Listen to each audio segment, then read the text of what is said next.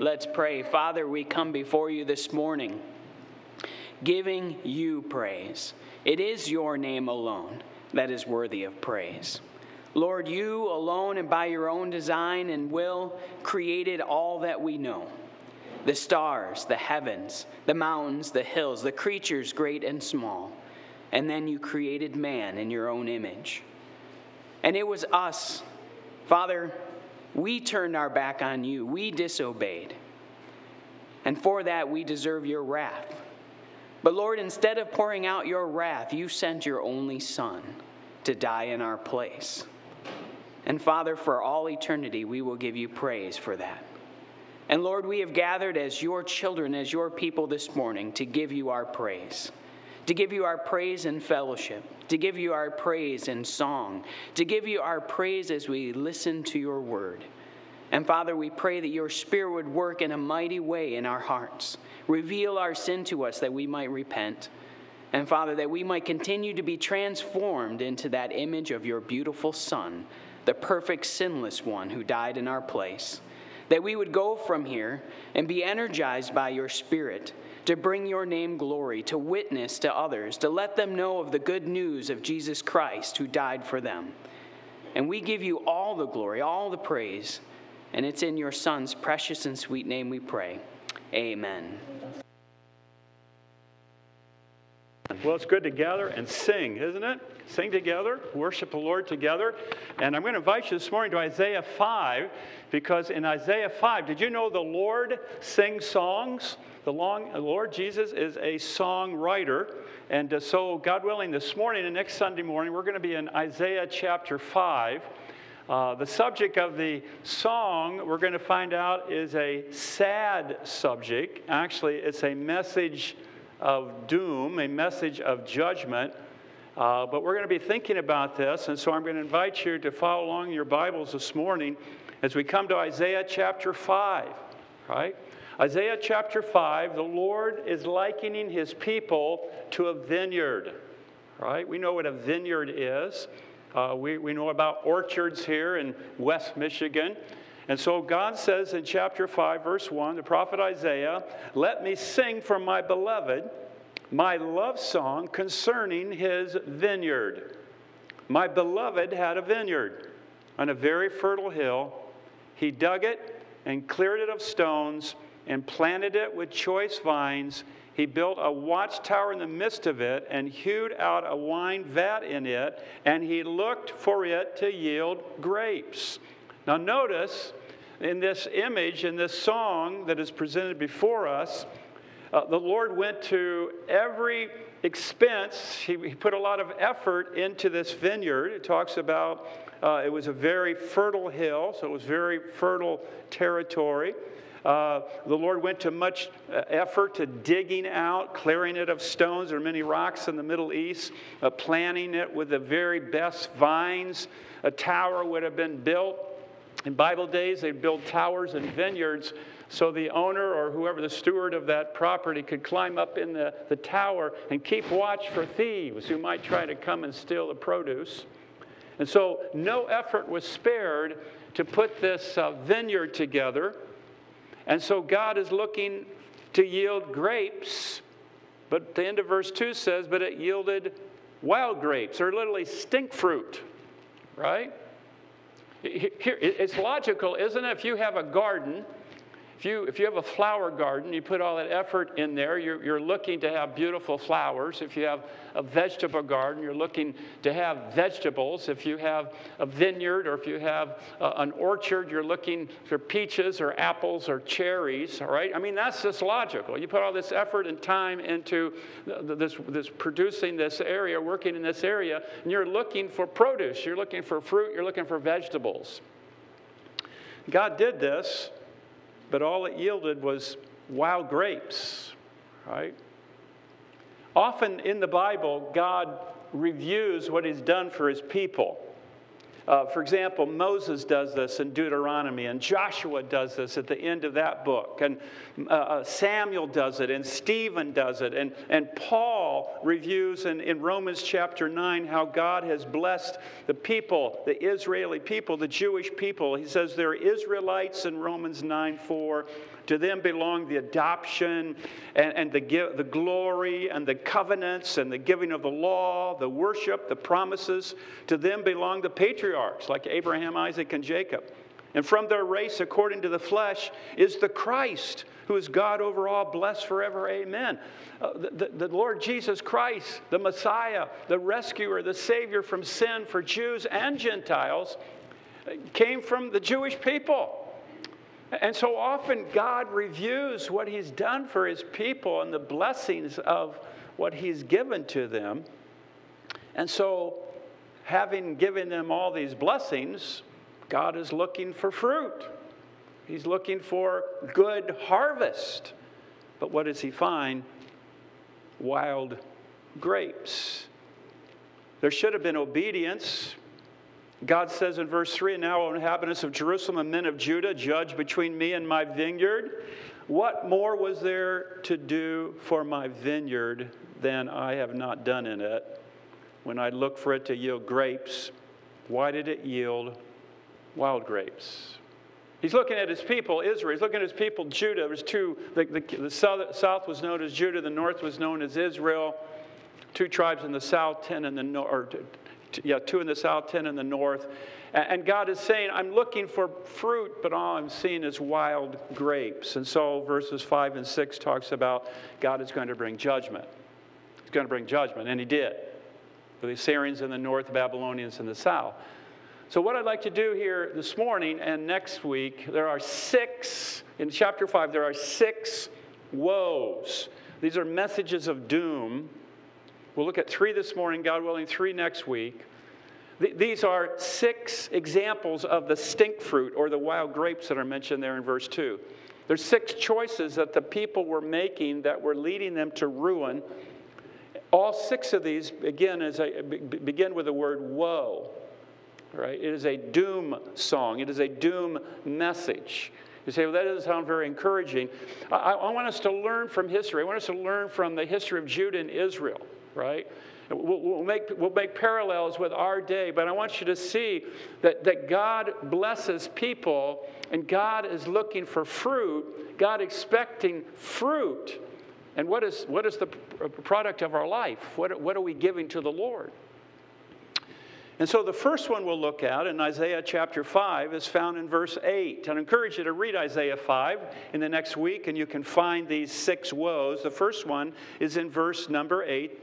And that verse says, Woe to those who join house to house, who add field to field, until there is no more room, and you're all made to dwell alone in the midst of the land. The first evidence of unbelief, the first stink fruit or wild grape or, or pattern that the people were living that is given by the prophet Isaiah here, who, by the way, had over a half century ministry, is unrestrained greediness.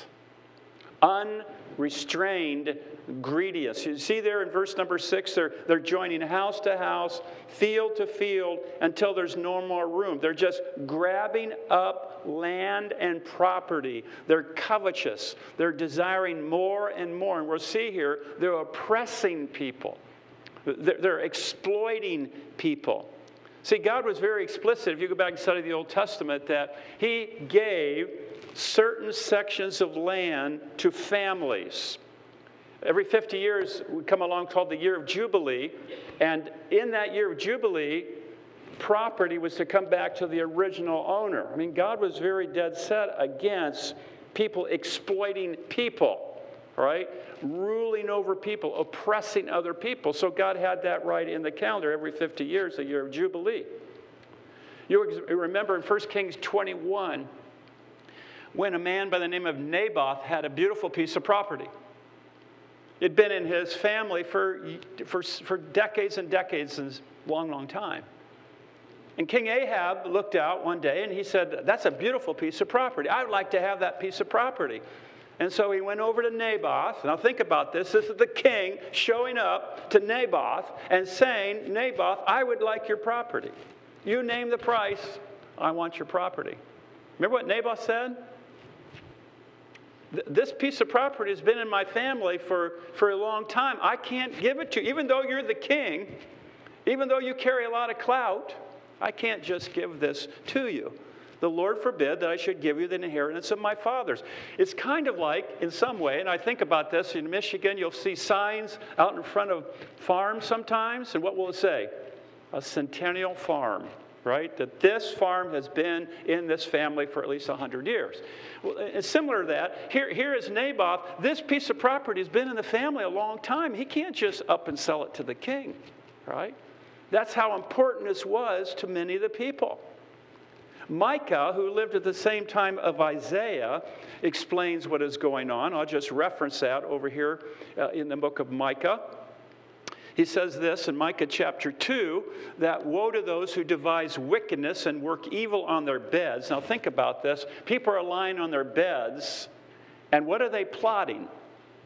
When the morning dawns, they're going to get up and covet fields and seize them and houses and take them away. They oppress a man in his house, a man in his inheritance. See that? Even though it's been in the family for a long time, might makes right. The idea is it's in the power of my hand to do this. I have the influence, I have the power, and so I'm going to use what I have to take something away from somebody else. Right? Amos says that people oppress the poor and crush the needy. Right? Ahab and Jezebel, remember, uh, going back to the Naboth incident, Ahab comes home and he has uh, the old Patch the Pirate song, he has poochy lip disease. He's laying on his bed and he's pouting. He's acting like a little three year old. And Jezebel comes in and says, What's the matter? And he says, Well, that fellow Naboth, I wanted to buy the property and he won't sell it to me. You remember what Jezebel does? She said, Well, you're the king. You can have what you want. Just we'll work this out. And so she concocts this plan. She calls this big banquet. She invites these false test- people to come in to give false testimonies. They lie against Naboth. They take him out and kill him. There, Jezebel says, the property's yours. Go take it, Ahab. By the way, that's when God sent uh, Elijah to say, What you've done is wrong, and you will die, king. All right? But, but this is the attitude. I'm bigger, I'm more powerful, I'm stronger, I have more leverage, and so what is yours will become mine. In Nehemiah 5, we read about other men have our fields and our vineyards. There was a problem in Nehemiah's day. Remember in Luke chapter 12, the Bible tells, uh, the, the, Jesus told a parable about a man God had given to him a, a very fertile farm. God had given seed and sunshine and rain, and this man had had a bountiful harvest, fabulous harvest. And so he looks out upon the harvest. Is his first thought, God has so blessed me. God has given me so much. God has given me this wonderful harvest. I'm going to turn around and assist that family down the road whose husband was injured in combat. He cannot help care for his family very well. He's been injured very severely. Family is a very difficult situation. So I'm going to assist them with the produce that God has given to me. Is that his first thought? Is his first thought. Uh, there's a widow lady down the road whose husband was crushed by the wagon when it rolled over while I was working on the farm. She has five children. She's having difficulty making ends meet. I'm going to assist her with the bounty God's given to me. Is his thought that there's another widow a little further down the road. She's getting up in years now. She has difficulty getting around. She's having hard time getting enough to eat. I can assist her with what God has given to me. Was that what his first thought? Do you remember Luke chapter 12? The man's first response was this quote, I will tear down my barns and what? Build bigger barns. That's his first response. I will store all my grain and my goods. And I will say to my soul, you can just see him talking to himself, Soul, You have ample goods laid up for many years. Eat, drink, and be merry. Remember that?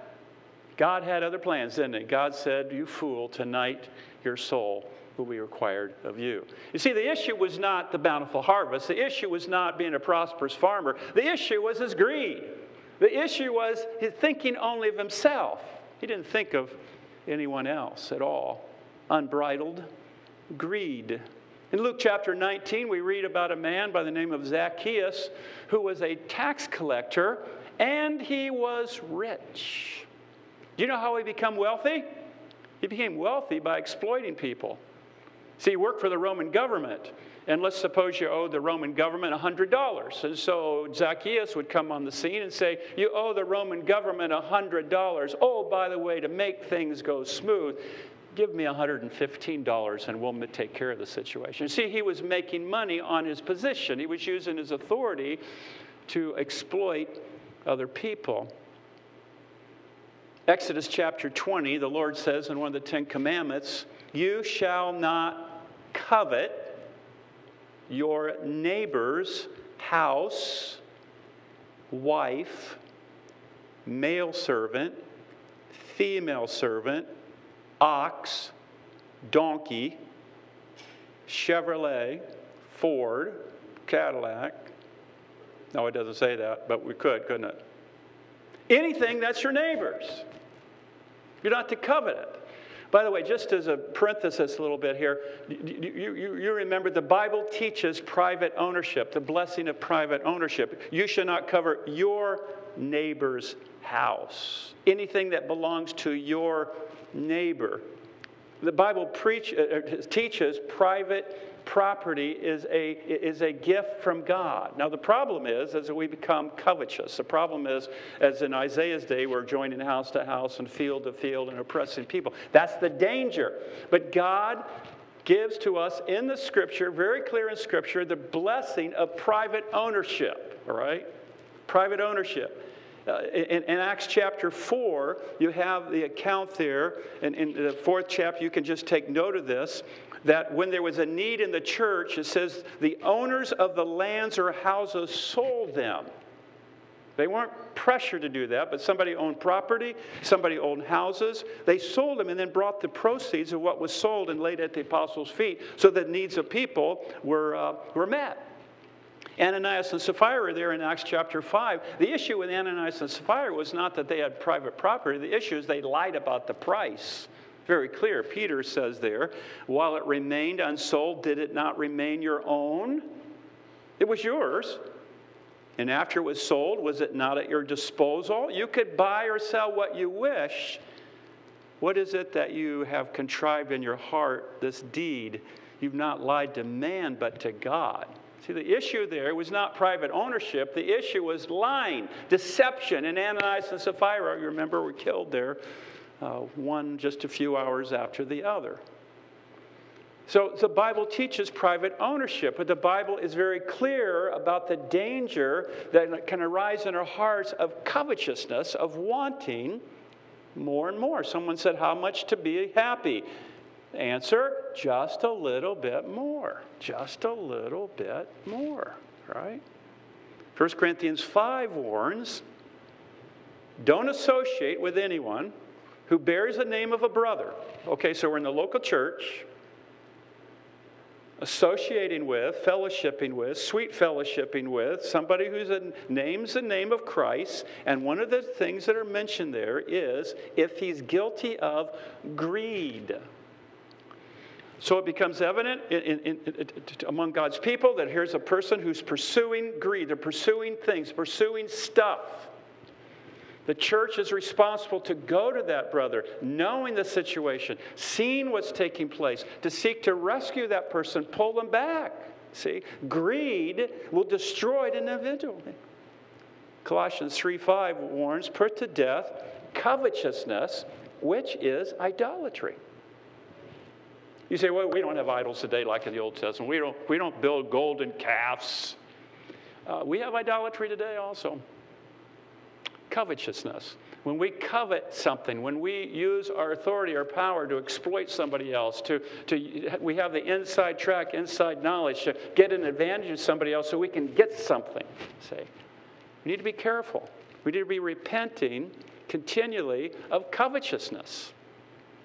See, God is never against wealth in the Bible, but He is against when we use our position, we use our wealth to, to degrade somebody else, to bring somebody else down, to take advantage of somebody else. In James chapter 2, we read, But you have dishonored the poor man. Are not the rich the ones who oppress you and the ones who drag you into court? Are they not the ones who blaspheme the honorable name by which you were called? Again, the attitude here among some was might makes right. If I can do it, and get away with it, I will do it because my life consists of more stuff, more and more things. 1 Timothy chapter 6 gives excellent, excellent counsel, God breathed counsel as to what we're to do with material things. You see, the Bible, again, it's not an issue of having things, it's when things have us. That's the issue. 1 Timothy chapter 6, listen to verse 17. As for the rich in this present age, and by the way, you know, every one of us here in this room are wealthy by the, by the uh, situation of most of the people in the world today. You go to other places in the world. I've been in Romania, I've been in Brazil, we've been in Dominican Republic, right? We've seen poverty, all right? We have food to eat today, we have shelter over our heads. So we will be considered as rich some more than others. But here's the thing as for the rich in this present age, charge them not to be haughty.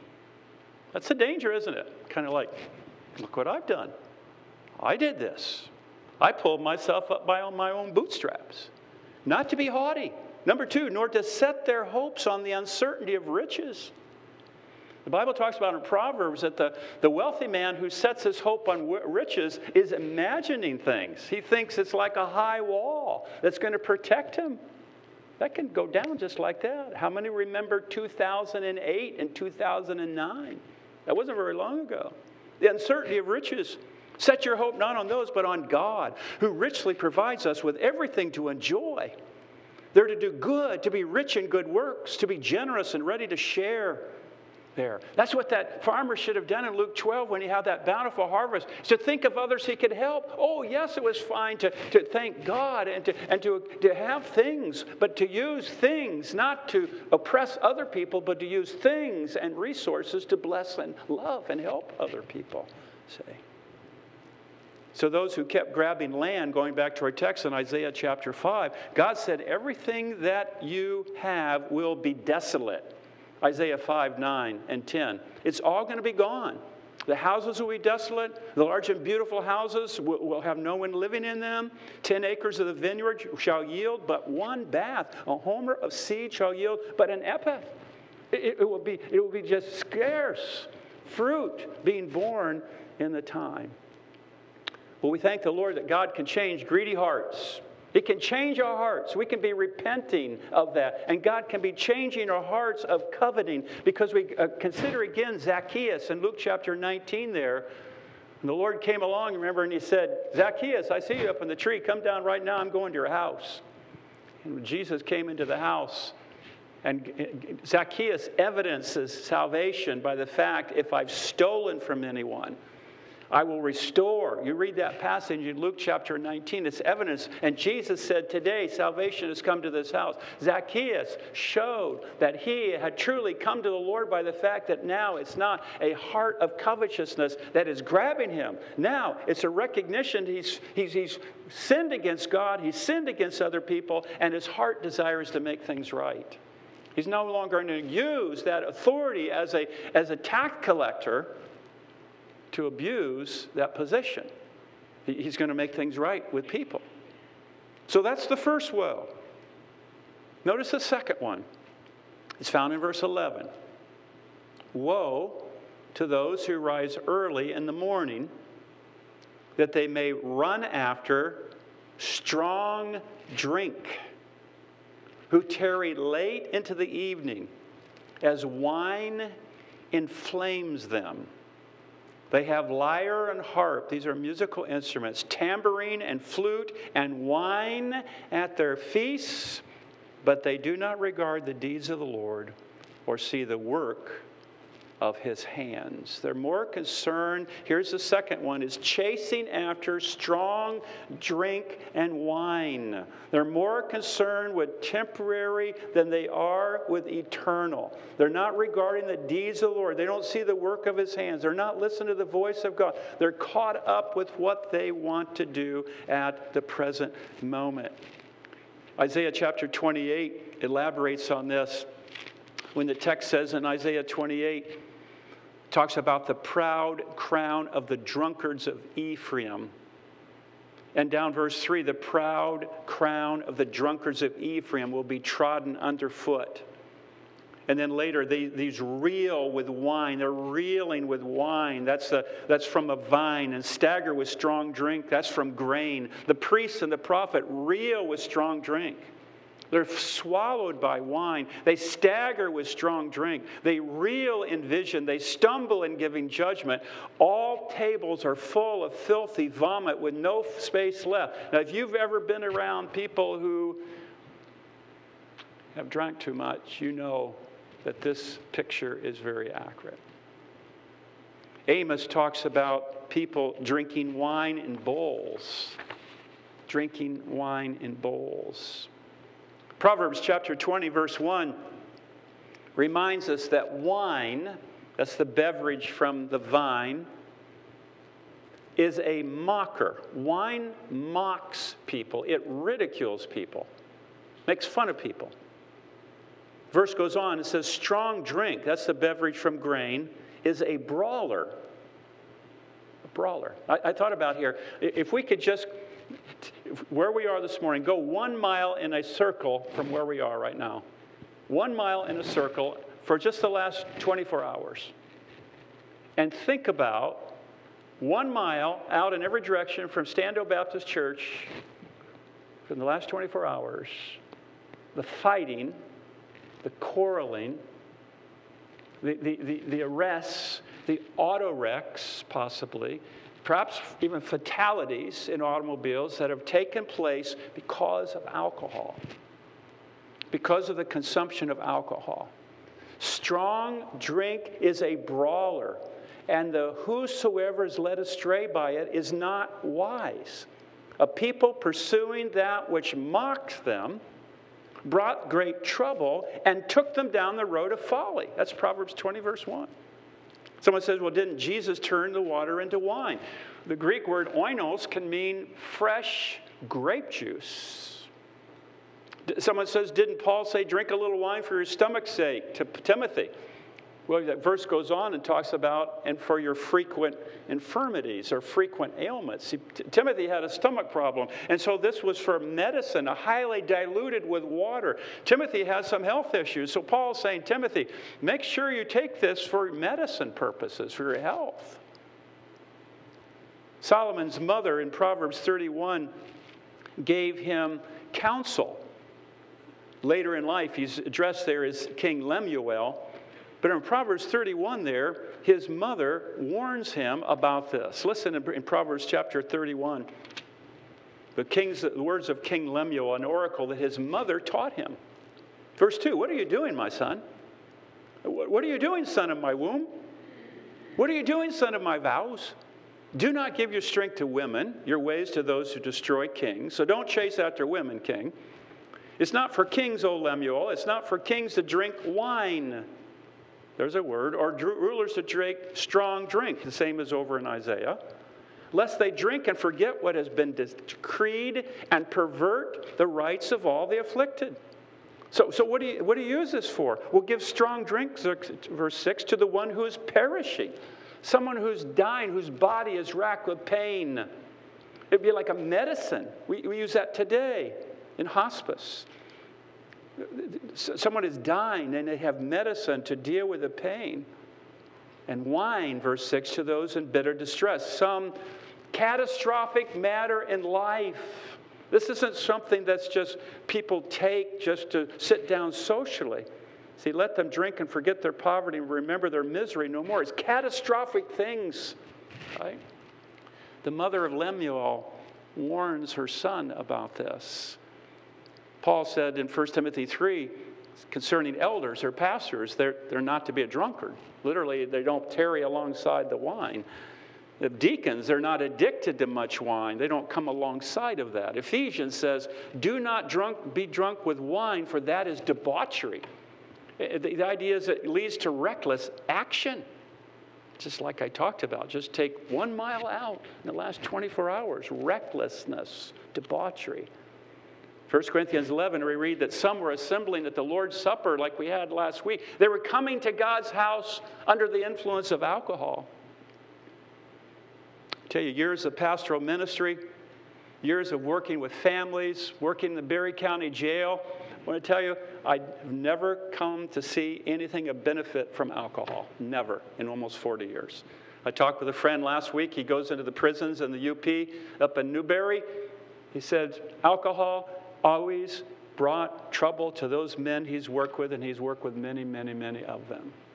It's always trouble. It's a mocker. It ridicules. It, it laughs at us. It brings trouble and brawling and hardship and, and, and grief and rips families apart and marriages apart. Coming back to Isaiah again, chapter 5, God says they love wine and strong drink, but it's not going to satisfy. Verse 13, they're going to go hungry and they're going to be parched with thirst.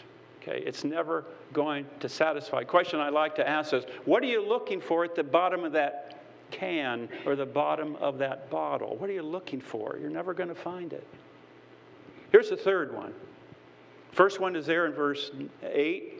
It's just ongoing greed. The second is the pursuit of, of wine and, and even today, alcohol. We just walked into our local gas station yesterday. Right there, right you walk in. We're not just talking about beer, we're talking about much stronger than beer, right? Local paper, one page, the, the Brewfest that's coming to Middleville, Michigan, which isn't far from us. And on the other page, it seemed like about every third or fourth billboard up and down 131 and across I 94 now is for not just talking about medical marijuana, we're talking about recreational marijuana here in the state of Michigan. We're, we're more and more giving ourselves over to that which can alter the mind, which does a work in us, Amos 6, where we're not grieved over the ruin of Joseph. We're just interested in that which will deaden our conscience and will give us just a temporary lift or a temporary freedom from problems of life.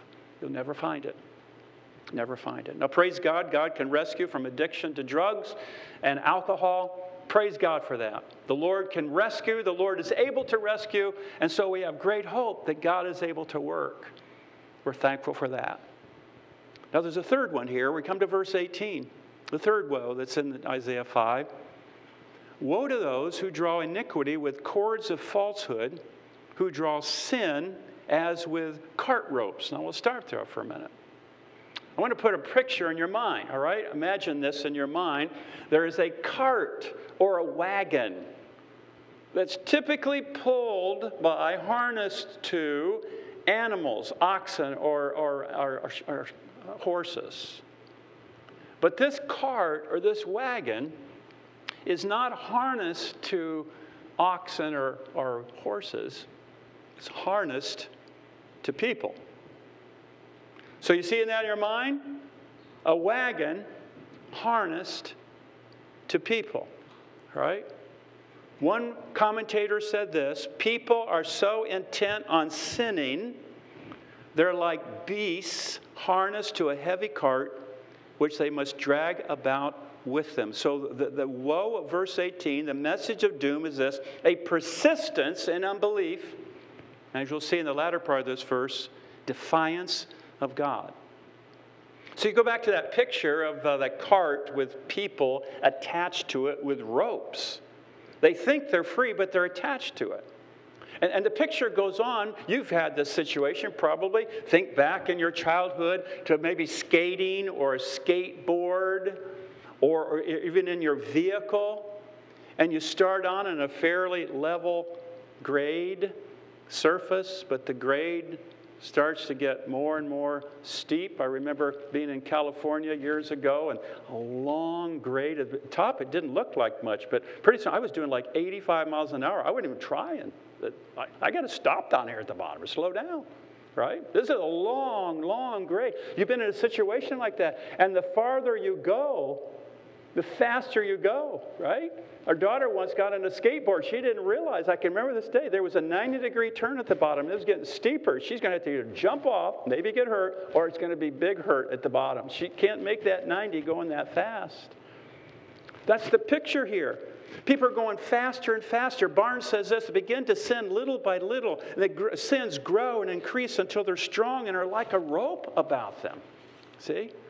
Evil is at first like a fine string, but the finishing is like a heavy cart rope, plunging deeper and deeper into sin, adding one sin to another. This is an unquenchable thirst for iniquity, a constant hunger. You just can't get enough. Person will go out and there'll be someone will dare them to steal something, and so there will be a rush. Stole it. Wow. But you know what? Next time you go out, I dare you to do this. That doesn't give much of a rush anymore. You got to be more bold. You got to be more strong. You got to do something in broad daylight. You got to up the ante, see, because you don't get the rush from just stealing something small. That's the picture here. They're going faster and faster down the hill, bound not just by this thin string, a fine string, but a heavy rope. Thinking they're free, but they're bound. Proverbs reminds us his own iniquity shall take the wicked, and he'll be held with the cords of his sin.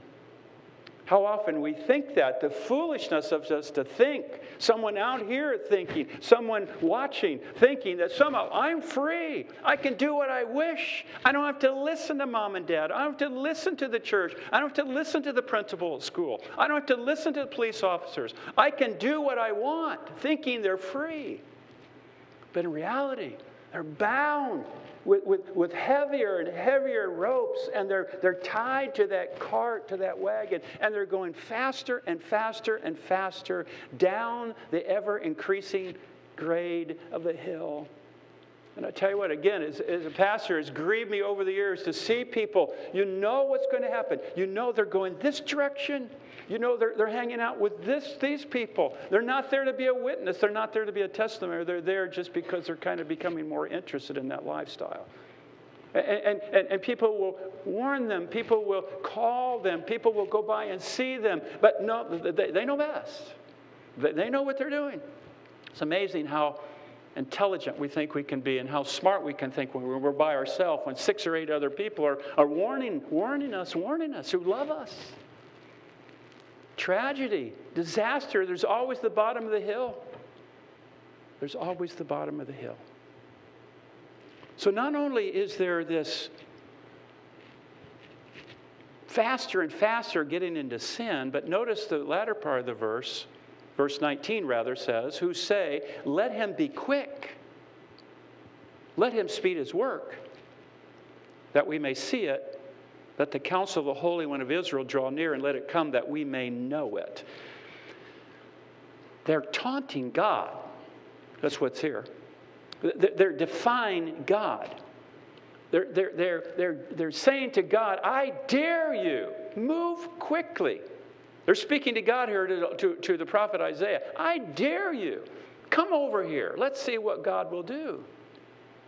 And let me just say, as you read the Bible and you look at life, it is the way of foolishness to taunt God.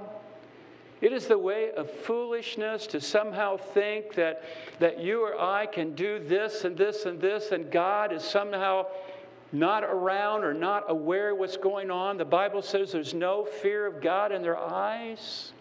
It is the way of folly to think that somehow we can keep getting away with things and God doesn't see and God doesn't know. God is not aware. And, and what we sow, we will reap. This is the whole attitude. Sennacherib had this attitude. Second Chronicles 32. Here's what he said Who among all the gods of those nations was able to deliver this people from my hand? How much less will your God deliver you out of my hand? Sennacherib, who was a mighty general, said, or king, said, I've defeated everyone. No one can defeat me. Your God is no match for me. Pharaoh had that attitude. Remember in the book of Exodus? Who is the Lord that I should obey him? He found out, didn't he? That, that those, uh, these weren't children. I think the old King James says children. Remember the, the, the Elisha incident? Go up, bald head. Go up, bald head. That, that, was a, that was a gang of young men who knew exactly what they were doing. They were taunting Elijah, they were mocking the God of Elijah, and they were saying to Elijah, Elijah got out of here. He went up in the whirlwind. You get out of here, Elijah. We don't want you here. They were taunting the God of Elisha and Elijah. Goliath was taunting God. Remember what happened to him? He was defying the armies of the living God, David said. He cursed David by his gods. I am the champion. Come out here. You're but a boy. I'll make quick work of you. Proverbs 30, the adulterous woman says this it says, She eats wipes her mouth, and says, I have done nothing wrong. Taunting God. Jeremiah talks about the brazen look of a prostitute who refuses to be ashamed. Want you take your Bibles, go to Daniel chapter 5 as we close, and I want to look at another example of the folly of taunting God, of mocking God. Daniel, the fifth chapter, we come to this account of a king by the name of Belshazzar. And in Daniel chapter 5, we read that he made a great feast for a thousand of his lords and drank wine in front of the thousand. Now imagine that. Imagine a, a, big conference hall downtown Grand Rapids, and a thousand people are gathered, and the king is present, and they're drinking there. Verse 2 says Belshazzar, when he tasted the wine, commanded that the vessels of gold and of silver that Nebuchadnezzar, his father, had taken out of the temple in Jerusalem be brought, that the king and his lords his wives and his concubines might drink from them. Now, Nebuchadnezzar had overrun Jerusalem. Jerusalem had been sacked and the temple destroyed, and all these artifacts from the temple had been taken by, the, by uh, Nebuchadnezzar back. And so that's what they pull out. Then they brought in the golden vessels that had been taken out of the temple, the house of God in Jerusalem. And the king and his lords, his wives and his concubines, drank from them. They drank wine and praised the gods of silver, pardon me, gold and silver, bronze, iron, wood, and stone. You see, what they're saying is these gods of gold, silver, bronze, iron, wood, and stone, which we know are no gods, but our gods have defeated Israel's God. And so they're taunting the true and the living God. Now, let me say this. Sometimes God acts immediately, as we're going to see. Sometimes God delays because he is so very gracious, he is so very kind, he is very long suffering, the second Peter says. He waits. But I'm just saying, you do not taunt God. You do not mock God.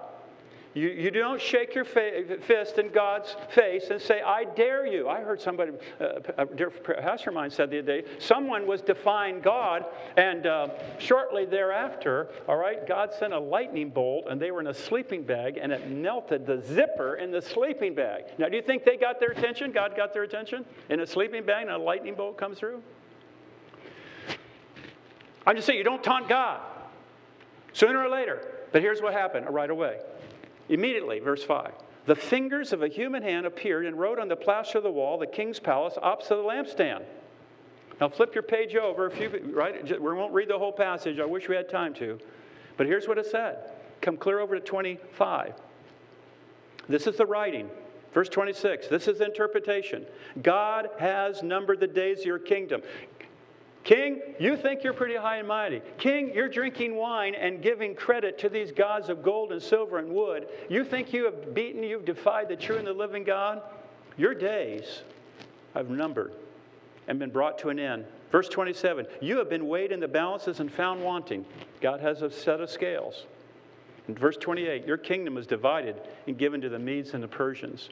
And then drop down to verse 30. That very night, Belshazzar, the Chaldean king, was killed, and Darius the Mede received the kingdom, right? God immediately, verse 5, acted in the defiance and the attitude of this king who dared rise up and say, We defeated the king of Judah. We defeated the God of Judah. We are more powerful. Our gods are more awesome than this God. And God said, I'm going to show you something, and I'm going to do it right now. See?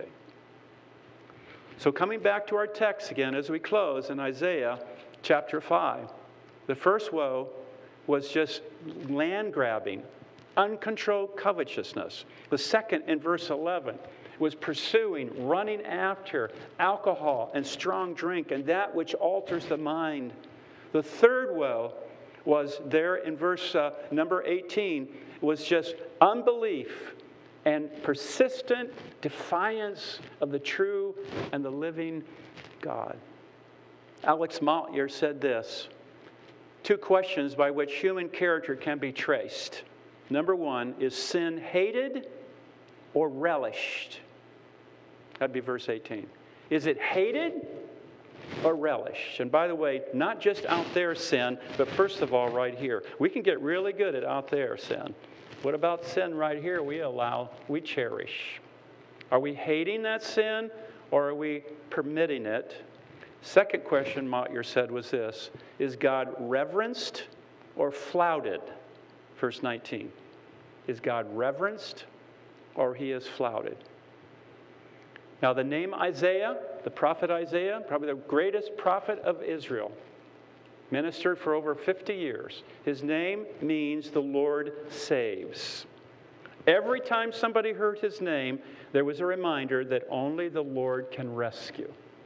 So, the good news this morning is this the fabulous news this morning is for all of us that the Lord can rescue us from these woes. If we'll humble ourselves and repent, the Lord can and will rescue us.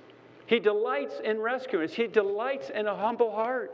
He delights in rescuing us from our greediness, from drugs, from alcohol, from unbelief and defiance. He delights in doing that. So run to the only one who can rescue. We can't pull ourselves up by our own bootstraps. The Lord can rescue us. We'd be happy, I would be happy to talk with you, to point you to the Lord Jesus Christ, the giver of life, the light of the world, others here as well. Don't turn a deaf ear to the God who's calling this morning. Let's pray. Our Lord, today we are a foolish people if we think that we can find something apart from you that will satisfy not only in this life, but also for eternity. Lord, often we're a greedy people. You can rescue us from that. Often we're people who think that we can find our our joy, our delight in something that can alter our minds, be it alcohol, be it drugs, be it something that causes us in any way to be less alert to the Word of God and the Spirit of God. Oh Lord, I thank you that you can rescue us from unbelief. You can rescue us from the folly of taunting God. Your prophet's name was Isaiah. The Lord rescues. And Lord, we take great delight in that. And I pray for any that are here this morning, present or watching online, or who will later, they would humble themselves and run to the only one who can rescue the Lord Jesus Christ, who hung on the cross of Calvary, who bore our sin, who rose again the third day to give us eternal life. We praise you and thank you. In Jesus' name, amen.